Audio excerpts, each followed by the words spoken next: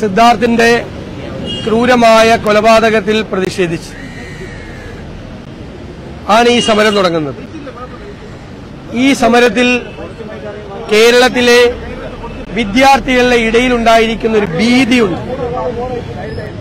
അതോടൊപ്പം അമ്മമാരുടെ മനസ്സിലെ ഉത്കണ്ഠയുണ്ട്. അരക്ഷിതത്വമുണ്ട്. ചെറുപ്പക്കാരുടെ ഇടയിലുണ്ടായിരിക്കുന്ന രോഷവും ഇവിടെ പ്രതിഫലിക്കുകയാണ്. അതുകൊണ്ടാണ് മഹിളാ കോൺഗ്രസും യൂത്ത് കോൺഗ്രസും കെ എസ് യു അതിന്റെ പ്രസിഡന്റുമാർ തന്നെ ഈ അനിശ്ചിതകാല നിരാഹാരത്തിന് തുടക്കം ഇവിടെ കുറിക്കുന്നത്. നമുക്കറിയാം കേരളത്തിന്റെ മനസാക്ഷിയെ മുഴുവൻ ഞെട്ടിപ്പിച്ച ക്രൂരമായ ഒരു കൊലപാതകമാണ്. ആ കൊലപാതകം നടന്ന രീതിയാണ് നമ്മളെ വിസ്മയിപ്പിക്കുന്നത്. കാരണം നിസാരമായ ഏതോ കാരണത്തിന്റെ പുറത്ത്. ഏതാണ് കാരണമെന്ന് കൊന്നവർക്ക് പോലും അറിയില്ല. അവനെ ക്രൂരമായി മർദ്ദിച്ച് നാട്ടിലേക്ക് പോകുന്നവനെ വിളിച്ചു വരുത്തി ക്രൂരമായി മുറിയിലിട്ട് ഹോസ്റ്റൽ മുറിയിലിട്ട് മർദ്ദിച്ച് പത്ത് നൂറ്റി മുപ്പത് വിദ്യാർത്ഥികളുടെ മുമ്പിൽ വെച്ച് വിവസ്ത്രനാക്കി ബെൽറ്റ് കൊണ്ടും വയറുകൊണ്ടും കമ്പിവടി കൊണ്ടും ക്രൂരമായി മർദ്ദിച്ച് വീണ്ടും കൊണ്ടുപോയി പാറപ്പുറത്ത് വെച്ച് മർദ്ദിച്ച് നിരവധി പ്രാവശ്യം മർദ്ദിച്ച് ഈ കൊടും ചൂടിൽ ഈ നിർജലീകരണം ഉണ്ടാകുന്ന ഈ കാലത്ത് ഒരു തുള്ളി വെള്ളം പോലും കുടിക്കാൻ കൊടുക്കാതെ മൂന്ന് ദിവസം തടവറയിലിട്ട് ക്രൂരമായി കൊല്ലുകയായിരുന്നു. ഇത് പോലീസ് ഇൻക്വസ്റ്റ് നടത്തിയപ്പോഴും പോസ്റ്റ്മോർട്ടം നടത്തിയപ്പോഴും പത്തൊമ്പത് ആന്റി മോട്ടം മുറിവുകൾ ഈ ശരീരത്തിലുണ്ട്. മുഖത്തുണ്ട് താടിയലിലുണ്ട് കഴുത്തിലുണ്ട് നട്ടലിനുണ്ട് നെഞ്ചിലുണ്ട് അടിവയറ്റിലുണ്ട് മുതുകത്ത് മുഴുവനുണ്ട്. പത്തൊൻപത് മുറിവുകൾ. ഏറ്റവും അപകടകരമായ രീതിയിൽ മാരകായുധങ്ങൾ അടക്കം വെച്ച് മർദ്ദിച്ച മുറിവുകളാണ്. പിന്നെ പട്ടിണിക്കിട്ട്. വെള്ളം പോലും കൊടുക്കാതെ പട്ടിണിക്കിട്ട് ഈ കുഞ്ഞിനെ കൊന്ന് കെട്ടിത്തൂക്കിയതാണ് എന്ന്. ആ കൊച്ചിന്റെ അച്ഛനമ്മമാര് പറയാ. എന്റെ ചോദ്യം ഇൻക്വസ്റ്റ് നടത്തിയപ്പോഴും പോസ്റ്റ്മോർട്ടം നടത്തിയപ്പോഴും കണ്ടെത്തി ഈ സംഭവം. എന്നിട്ട് എന്തേ ഈ പിണറായി വിജയന്റെ പോലീസ് ഒരു അന്വേഷണം തുടങ്ങിയില്ല? എന്തുകൊണ്ട് തുടങ്ങിയില്ല? എന്തുകൊണ്ടാണ് ഈ വിവരം മൂടിവെച്ചത്? ബന്ധുക്കൾ എത്തിയപ്പോ ഈ ഡീൻ ഫിസിക്കൽ എഡ്യൂക്കേഷൻ അധ്യാപകൻ ഉൾപ്പെടെയുള്ള അധ്യാപകരുടെ ഒരു വിഭാഗം കുട്ടികളെ ഭീഷണിപ്പെടുത്തിയാൽ ഇത് പുറത്തു പറയരുത്. എന്താണ് സംഭവിച്ചതെന്ന് പുറത്തു പറയരുത്. ഇത് വെറും ആത്മഹത്യ മാത്രമാണ്. എസ് എഫ് ഐക്കാർ ഈ കുട്ടികളെ മുഴുവൻ ഭീഷണിപ്പെടുത്തിയാൽ ഉറങ്ങിക്കിടക്കുന്ന ഹോസ്റ്റലിൽ ഉറങ്ങിക്കിടന്നിരുന്ന കുട്ടികളെ വരെ വിളിച്ചു കൊണ്ടുവന്ന് നിർബന്ധമായി ഇവരെ അടുപ്പിച്ചു. ഇവനെ മർദ്ദിപ്പിച്ചു. കരഞ്ഞുകൊണ്ടാണ് കുട്ടികൾ ഓടിപ്പോയത്. കാരണം അടിച്ചില്ലെങ്കിൽ ഇവരെ അടിക്കും. അപ്പൊ ഇത്രയും കാര്യങ്ങൾ ഉണ്ടായിട്ട് എന്തുകൊണ്ട് പോലീസ് അന്വേഷണം ആരംഭിച്ചില്ല? ഇത് വിവാദമായതിനു ശേഷമാണ് പോലീസ് രംഗപ്രവേശം ചെയ്യുന്നത്. അതിനു മുമ്പ് പോലീസ് മൂടിവെച്ചു രണ്ട് ഈ പ്രതികളിൽ ചിലരെ മൈസ്രജിന്റെ മുമ്പിൽ ഹാജരാക്കിയപ്പോൾ. അറിയപ്പെടുന്ന സി നേതാവ് മുൻ എം എൽ മുമ്പിൽ ഹാജരായി. ഇവരെ രക്ഷപ്പെടുത്താൻ. എല്ലാവരെയും ഒളിവിൽ പാർപ്പിച്ചത് C P M C P എമ്മിന്റെ അറിവോടുകൂടി പോലീസിന്റെ അറിവോടുകൂടിയാണ് എല്ലാവരെയും ഒളിവിൽ പാർപ്പിച്ചത്. എന്നിട്ട് അവസാനം വിവാദമായപ്പോ ആന്തൂരിലെ സാജന്റെ ആത്മഹത്യയ്ക്ക് ശേഷം ആന്തൂരിലെ സാജന്റെ കുടുംബത്തെക്കുറിച്ചൊരു കള്ളക്കഥ ഉണ്ടാക്കിയതുപോലെ ഈ കുഞ്ഞിനെ കുറിച്ചൊരു കള്ളക്കഥ ഉണ്ടാക്കി. അതും പാളിപ്പോയി. അതും പാളിപ്പോയി. ഈ കേസിലെ പ്രതിയാണ് റാഗിംഗ് കമ്മിറ്റിയിൽ അംഗമായിരിക്കുന്നത്. ക്രൂരമായ മർദ്ദനമാണ് ഇവരെ അഴിച്ചുവിട്ടത് അതുകൊണ്ട് ഞാൻ പറയാൻ ആഗ്രഹിക്കുന്നത് കേരളത്തിലെ പോലീസിൽ ഞങ്ങൾക്ക് യാതൊരു വിശ്വാസമില്ല അത് പിണറായി വിജയന്റെ ഓഫീസിലിരിക്കുന്ന ഒരു ഉപജാപക സംഘം നിയന്ത്രിക്കുന്ന പോലീസാണ്. അവർ രാഷ്ട്രീയമായി ഇവരെ രക്ഷപ്പെടുത്താൻ ആദ്യം ഈ സംഭവം മൂടിവെച്ചു ഇപ്പൊ കൊലക്കുറ്റത്തിന് കേസെടുക്കുന്നില്ല. ഇവിടെ പത്തൊൻപത് മാരകമായ മുറിവുകൾ ഈ കുഞ്ഞിന്റെ ശരീരത്തിൽ ഉണ്ടായിട്ട് കൊലക്കുറ്റത്തിന് എന്തുകൊണ്ട് കേസെടുക്കുന്നില്ല? അപ്പൊ രക്ഷപ്പെടുത്തണം. നിസാരമായ വകുപ്പുകൾ എഴുതി ചേർത്ത് ഈ ക്രിമിനലുകളായ ഈ സംഘത്തെ രക്ഷപ്പെടുത്തണം. കാരണം എന്താ? ഈ ക്രിമിനലുകൾക്ക് അരിഞ്ഞാടാൻ അവസരം കൊടുത്തത് കേരളത്തിലെ മുഖ്യമന്ത്രി തന്നെയാണ്. ജീവൻ രക്ഷാപ്രവർത്തനം അത് തുടരണം. മുഖ്യമന്ത്രിയുടെ പ്രഖ്യാപനമാണ്. അതിനുശേഷം എത്രയോ സംഭവങ്ങളുണ്ടായി.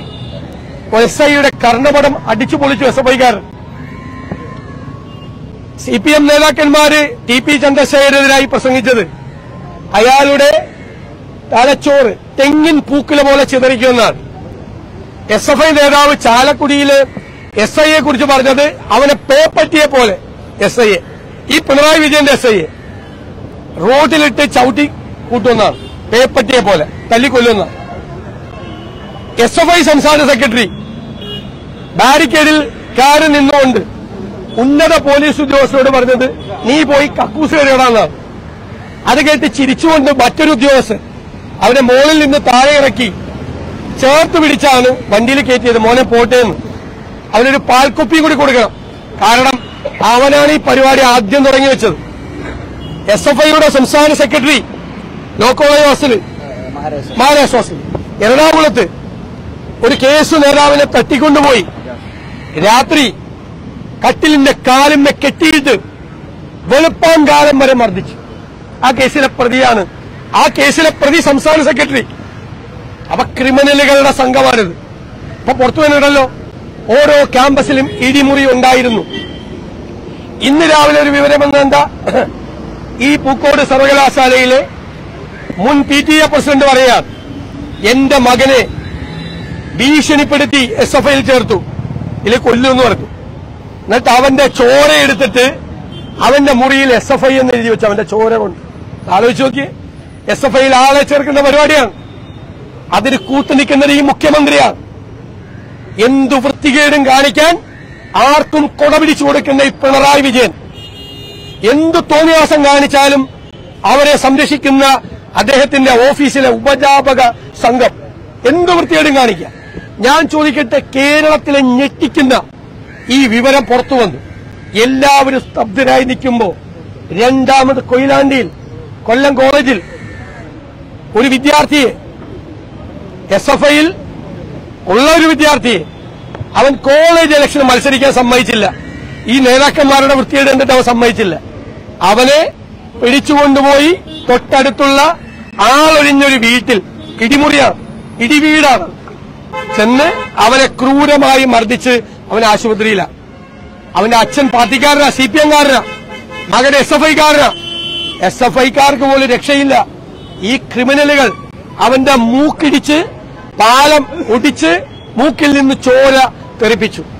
ഇനിയുള്ള ഒരുപാട് പേരുടെ മൂക്കിൽ നിന്ന് ചോര തെറിപ്പിക്കും എന്ന് ഈ ക്രിമിനലുകൾ ഭീഷണിപ്പെടുത്താണ് ഞാൻ എന്നെ ഞെട്ടിച്ചത് ഈ സംഭവം. സിദ്ധാർത്ഥിന്റെ സംഭവം പുറത്തു വന്നിട്ടാണ്. ഈ സംഭവം ഉണ്ടാകുന്നത്? എന്തൊരു ക്രൂരതയാണ് കേരളത്തിൽ നടക്കുന്നത്? അതാണ് പറഞ്ഞത് അമ്മമാർ ഭയന്നാണ് ഇരിക്കുന്നത് അമ്മമാർ. എന്താ ഭയന്നിരിക്കുന്നത്?